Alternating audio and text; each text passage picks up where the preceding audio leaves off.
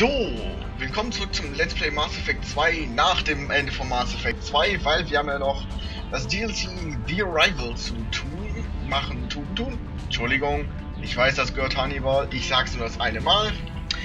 So, als allererstes Fischis füttern. Sehr schön. Sehr schön, sehr schön, sehr schön. Ähm, neue Panzerung, ich glaube, ich nehme mal das alte M7-Modell. Also das hier mit der N7 Bemalung. Also einfach alles so. Aber das machen wir schwarz, das sieht besser aus. So. Dann können wir ja einmal die riesige Runde machen mit der ganzen Crew reden, weil die haben jetzt alle was zu sagen zu meiner Entscheidung, die Basis dem Unbekannten zu lassen. Nachdem was der gesagt hat. Äh, bin ich mir nicht mehr so sicher, ob das richtig gut war. Aber Commander. Sie haben auf Ihrem privaten Terminal eine neue Nachricht erhalten. Wirklich? Die Nachricht für Tradition von der unbekannte Shepard. Ich habe von dem Angriff erhalten. Äh, erfahren. Das Ganze ist eine Direktprovokation der Kollektoren und zeichnet, dass wir ihnen Angst eingejagt haben. Der Verlust ihrer Crew ist eine Katastrophe, aber sie hat sich in voller Kenntnis der, der Risiken für diese Mission gemeldet. Immerhin hat sich vermutlich für den Aufschub der, von Rettungswassern ausgesprochen, bis sie für den Durchtritt des Omega 4 Ports tatsächlich bereit sind. Ich weiß, sie würden am liebsten losbrechen, aber blinde Aktionisten für das Opfer ihrer Crew herabwürdigen. Sobald sie bereit sind, haben sie meine volle Unterstützung. Bringen sie zu Ende, Shepard. Niemand aus ihnen kann es schaffen. Ich wollte das noch ein bisschen schneller äh, lesen, ich kann auch ein bisschen schneller reden, aber das wäre ein bisschen blöd, weil wir das im Let's Play eigentlich nicht tun sollten. So. Ähm. Genau, Kelly. Sie sind gekommen. Ich wusste es. Danke. Vielen, vielen Dank. Wie geht es Ihnen, Kelly? Ich halte durch, aber ich kriege diese Bilder nicht aus meinem Kopf. Gefangen. Ersticken. Es dringt in jede Pore ein. Entferntes Schluchzen im abgeschlossenen Raum.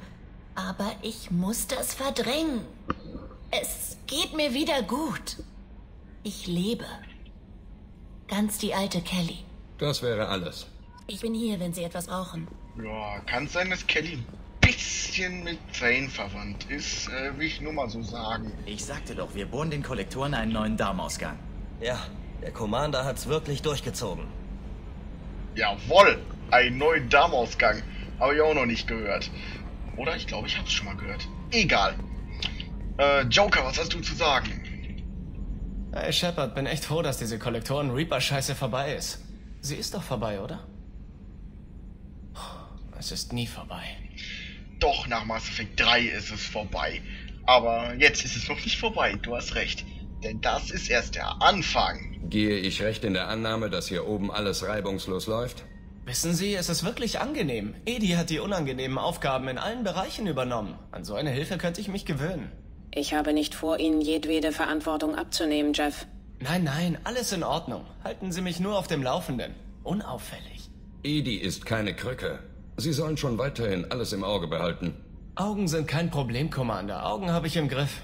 Wenn Sie Ihre Augen in die Hand nehmen würden, entspräche das wohl kaum Shepards Absicht. Menschliche Absichten sind schwer zu erkennen, Edi. Aber mit etwas Übung schaffen Sie das schon noch.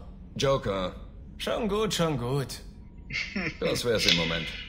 Bis dann, Äh, Commander. auf Englisch wäre das doch so viel lustiger. Weil dann ähm, würde Joker sagen, äh, nachdem Shepard gesagt hat, nicht so miss missbrauchen und so, würde er dann auf Englisch sagen, It's okay, Commander, I've got my ha äh, eyes covered. Und das ist ja ähm, doppeldeutig, weil erstens auf seine Augen aufpassen oder zweitens seine Augen in die Hand nehmen und die versteht das halt so falsch. Gott, Witze sind nicht gut, wenn man sie erklären muss. Ja, es ist aber auch die deutsche Übersetzung und so, ich äh, rede schon wieder zu viel. Ich bin froh, dass wir den Kollektoren gegeben haben, was sie verdient hatten, Shepard. Es passt mir zwar nicht, dass wir jetzt alles dem Unbekannten übergeben, aber wenigstens ist die Menschheit nicht mehr in Gefahr. Zumindest vorerst nicht. Die Kollektoren sind noch nicht das Ende. Ganz bestimmt nicht. Ich weiß nicht, wie viel Zeit wir haben, aber wir sollten uns besser gleich wieder bereit machen. Sie haben es wirklich raus, wenn man sich Feinde schafft. Tja, Wir sprechen später. Commander, Ich bin halt gut. Selbst im Feinde machen. Ja, wenn mir auch einer in die Karre pisst. Cerberus ist besser als die Kollektoren. Dennoch hätte ich ihnen die Basis nicht übergeben. Riskant. Mehr als riskant. Gefährlich. Hoffentlich wissen sie, was sie tun. Zurück an die Arbeit. Bin hier, wenn sie mich brauchen. Menno. Kann jetzt mal irgendeiner sagen, gut gemacht? Irgendwer muss doch hier was zu sagen haben. Wie gut gemacht, Shepard.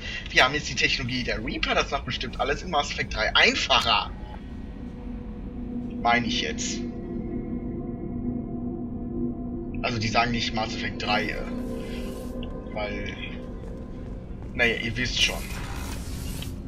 Und so, ne? Ich bin beunruhigt, Shepard. Ihnen vertraue ich, aber nicht Ihrem Auftraggeber. Er wird von Wut und Angst getrieben. Ich fürchte, wir haben lediglich dafür gesorgt, dass er ein Gigant geworden ist. Da! Ich muss jetzt gehen. Ich kehre zu meiner Meditation zurück. Warum? Sag mir einer mal gut gemacht, Shepard. Danke, dass Sie uns alle lebend rausgebracht haben, Shepard. Ich weiß nicht, ob es klug war, die Basis dem Unbekannten zu übergeben. Cerberus hat eine sehr enge Sicht der Galaxie. Trotzdem war es natürlich Ihre Entscheidung und das respektiere ich. Ich muss jetzt gehen. Natürlich. Äh, nein, dass ich sie alle lebend rausgebracht habe und dann noch die Kuh gerettet habe und dann noch das alles kaputt gemacht habe, dann... Es erfüllt mich mit Stolz, unter Ihnen zu dienen, Commander. Hawthorne ist immer noch auf der Krankenstation, wobei sein Stolz wohl mehr gelitten hat als seine Knochen. Er wollte Joker unbedingt helfen. Ah, sehr schön. Könnte mir jetzt bitte jemand Wichtiges sagen, dass ich die richtige Entscheidung getroffen habe? Vielleicht Garrus. Hoffentlich kriegt Cerberus raus, was man mit der ganzen Tech anfangen kann. Außerdem hoffe ich, dass sie nichts Schlimmeres vorhaben als die Kollektoren. Seien Sie vorsichtig, Shepard. Das war wenigstens neutral. Wir reden später, Garrus. Ich bin hier, wenn Sie mich brauchen. Ja.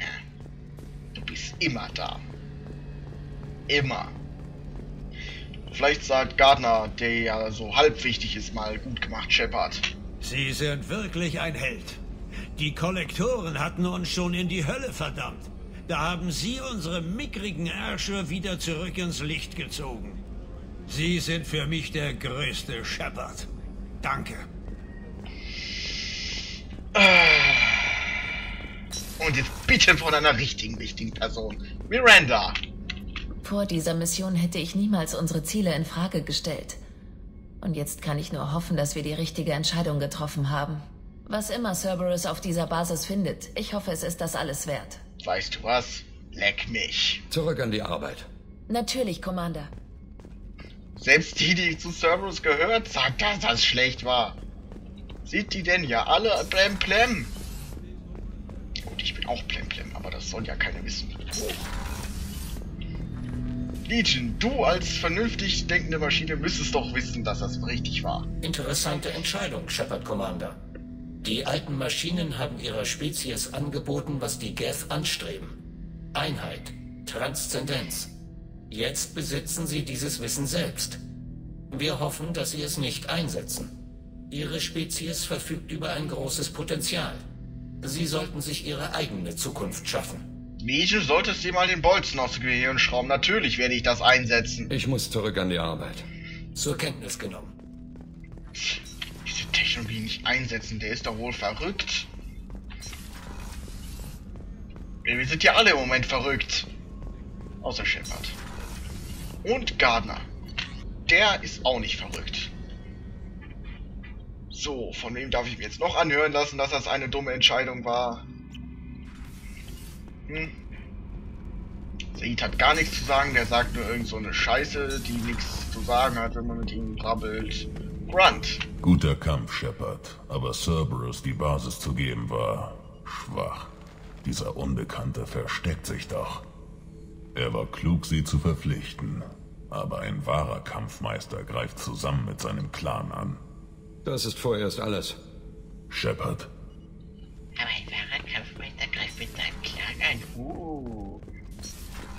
Na. Und Tali wird jetzt wohl nicht das sagen. Oh. Hallo, ihr habt doch bestimmt was Tolles zu sagen. Danke, dass Sie uns rausgeholt haben, Commander. Ich dachte schon, um mich sei es geschehen. Sie sind gerade noch rechtzeitig gekommen. Danke. Na, wenigstens danke. Weitermachen. Jawohl, Commander. Ist ja auch was. Ich weiß, dass Sie mit Cerberus zusammenarbeiten, aber Ihnen die Basis zu übergeben war gefährlich. Ich hoffe, das wird uns nicht irgendwann nochmal leid tun. Dann zurück an die Arbeit. Wir reden später weiter. Ich sag dazu gar nichts mehr. Wir werden ja schon sehen in, äh, welcher Tag ist heute? Samstag? Dann lass mich kurz rechnen. Hm? In fünf Tagen werden wir sehen, wer recht hat. Ja. Das wird sicher ich sein, also. Soll man ohne Reaper-Technologie die Reaper bitte schön töten?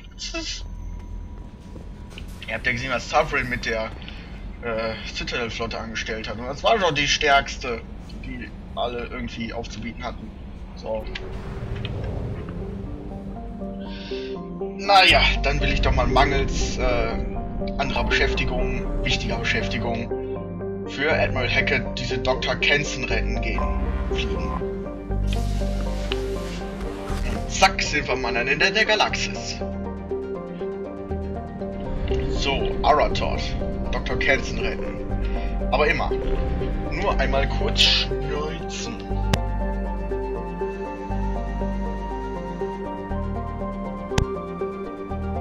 So.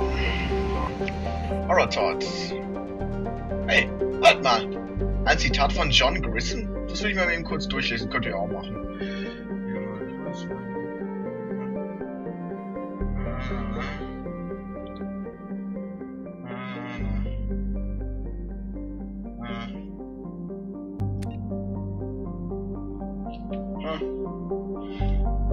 Und nur am Anfang äh, Zitat von John Grissom. Wenn ich weiß, wer John Grissom, der, wer John Grissom ist, der soll sich bitte schön schämen und das erste Mass Effect Buch lesen.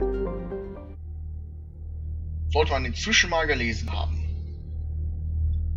Als gebildeter Mass Effect Fan. Schrägstrich Fanatiker. Ach ja. Meine Nerd-Karriere ist ja auch ziemlich weit geschreift. Geschreift! Genau! Geschreift! ja, supi. Den Kane stecke ich mal lieber weg. Tauschen gegen meinen alten Raketenwerfer ein. Wäre doch etwas zu heftig.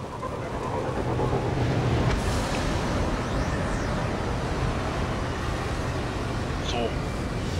Immer schönes Sauwetter. Sowas lieben wir doch. 6.45 Uhr, Aratot, die Frisur hält. So, kleine Werb Werbungsverarsche. Mein Mundwerk sollte sich mal kontrollieren. Oh nein, eine verschlossene Tür. Ups, da ist ja schon der Sicherungskasten. Tja. Ach ja, wenn, während wir so auf den Anfang von Mass Effect 3 zusteuern, kann ich auch ein bisschen technische Informationen geben zu Mass Effect 3, was schon bekannt ist. Ähm, wir wurden entdeckt. Ich werde natürlich nicht spoilern, nicht ein kleines bisschen, da ich auch überhaupt nichts weiß. Äh, weil ich habe mich komplett spoilerfrei gehalten. Okay, fast komplett. Ich weiß ein paar Sachen. Und diejenigen Personen oder ich, weil ich mir das manchmal selber spoiler, äh, sollen bitte schön zur Hölle fahren. Äh, ja ich auch, nachdem ich das Mass Effect 3 Let's Play gemacht habe. Ähm, naja. Was wissen wir über Mass Effect 3? Ganz schön runtergekommen. Naja, fangen wir mit den schlechten äh, Fakten an. Das Scannen vom Planeten wird es wieder geben. Deshalb äh, werde ich wohl auch wieder Stunden und Stunden damit verbringen, vor einem Planeten zu sitzen und mit dem Mauszeiger kreisförmige Bewegungen zu machen, um irgendwas aus irgendeinem Planeten zu holen, um damit meine Waffen zu verbessern. Yay! Ui, kleiner Frame-Einbruch. Puff! Oh halt, da muss ich durch. Schönes Feuer. Ich finde, das sieht sowieso schön aus, aber ich finde jetzt im Moment, dass alles schön aussieht, weil ich in den letzten zwei Tagen Advance Wars gesuchtet habe mit dem Emulator und äh, schon etwas älter war. So. Oh nein, noch ein Varen. Naja, äh, was wissen wir noch? Ähm, ja, der Multiplayer-Modus, es ist ja erstmals in der Mass Effect-Geschichte ein Multiplayer-Modus. Habe ich auch schon angespielt, Videos sind auf YouTube. Und ich finde den persönlich richtig gut. Das sieht Manche würden sagen, ja... Mass Effect ist Singleplayer, aber solange es so einen Multiplayer gibt, bin ich immer dabei. So, jetzt hören wir zwischendurch noch diesen persönlichen Log zu. Angeblich wimmelt es im Asteroidengürtel von Menschen. Wie Ungeziefer. Ist man der Lage sicher vor denen? Sollten sie alle auslöschen. Eher nicht. Naja, wo war ich? Ähm. Ja. Ich weiß es nicht mehr.